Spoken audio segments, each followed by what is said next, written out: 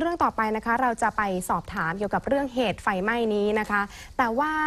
ในเรื่องต่อไปเราไปดูเรื่องของสถานการณ์ภัยแล้งกันก่อนนะคะ ช่วงนี้แม้ว่าจะยังไม่เข้าสู่หน้าฝนดีนะแต่ว่าก็มีฝนตกมาบ้างค่ะ ก็ทำให้คลายความร้อนกันบ้างนะคะเดี๋ยวเราจะไปดูที่จังหวัดนครสวรรค์ค่ะ โดยชาวนาที่จังหวัดนี้นะคะ เร่งไถหว่านนาข้าวแล้ว เพื่อให้ผลผลิตเก็บเกี่ยวได้ทันก่อนถูกน้ำท่วมเสียหาย ขณะที่เกษตรกรผู้ปลูกชะอมในจังหวัดอ่างทองกำลังประสบปัญหาขาดแคลนน้ำทำให้ผลผลิตนั้นลดลงไปกว่าครึ่งค่ะ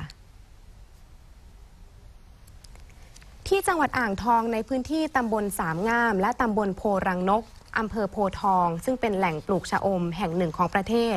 ขณะนี้กำลังประสบปัญหาขาดแคลนน้ำทำให้ไร่ชะอมของเกษตรกรในพื้นที่ได้รับผลกระทบ เช่นที่ไร่ชะอมของนายทวัชชัยคล้ายทองเกษตรกรหมู่ที่2ตำบลสามงาม ไม่มีน้ำรดทำให้ชะอมไม่แตกยอด ผลผลิตลดลง จากเดิมที่ตัดได้วันละหลายร้อยกรัม ช่วงนี้เก็บได้วันละ 4 วันประมาณ 100 กรัมเท่านั้นค่ะ ส่วนที่จังหวัดนครสวรรค์ชาวนาที่ตำบลบางเคียนอำเภอชุมแสง เริ่มไถปรับพื้นที่นา และลงมือเพาะปลูกข้าวแล้ว แม้จะยังไม่มีภาวะแห้งแล้ง เพื่อเก็บเกี่ยวผลผลิตทันช่วงปลายเดือนสิงหาคม และต้นเดือนกันยายน เพราะหากช้ากว่านี้จะได้รับผลกระทบจากน้ำท่วมทำให้ผลผลิตเสียหายจนขาดทุนได้เนื่องจากพื้นที่นี้มักประสบปัญหาน้ำท่วมซ้ำซากเป็นประจำทุกปีค่ะทำให้ต้องเสี่ยงทำนาก่อน และรอน้ำฝนมาหล่อเลี้ยงต้นข้าว ส่วนที่จังหวัดนครพนมเกษตรกรที่บ้านกลางตำบลโนนตาลอำเภอท่าอุเทน ซึ่งประสบปัญหาภัยแล้ง ไม่สามารถทำการเกษตรได้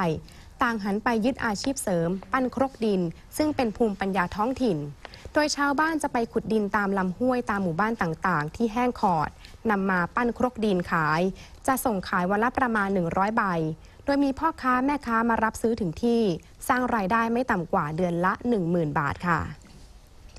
ส่วนสถานการณ์น้ำในเขื่อนอุบลรัฐจังหวัดขอนแก่น แม้ว่าที่ผ่านมาจะมีฝนตกหนักในหลายพื้นที่นะคะ แต่ว่าส่วนใหญ่เป็นพื้นที่ใต้อ่างเก็บน้ำทำให้ช่วงสัปดาห์ที่ผ่านมา